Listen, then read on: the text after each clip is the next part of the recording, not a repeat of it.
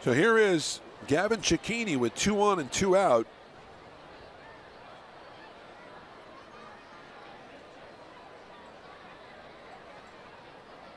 And now Stratton and Olivo are going to talk a little bit in front of the mound.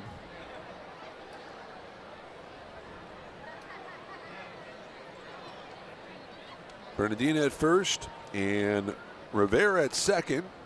River Cats are leading at five to one. We're in the top half of the seventh inning with two outs. Here's the pitch. That's hit down the right field line, slicing foul out of play. And will bounce onto the berm area. So Martha K. Stratton is uh, going to give birth soon to their baby boy. In the hospital now as the right-hander comes set. And the 0-1 pitch. That's swung on his look out.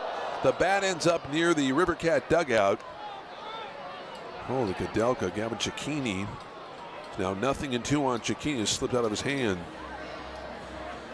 So 0-2 the count on Cecchini. Exciting times for the the Strattons.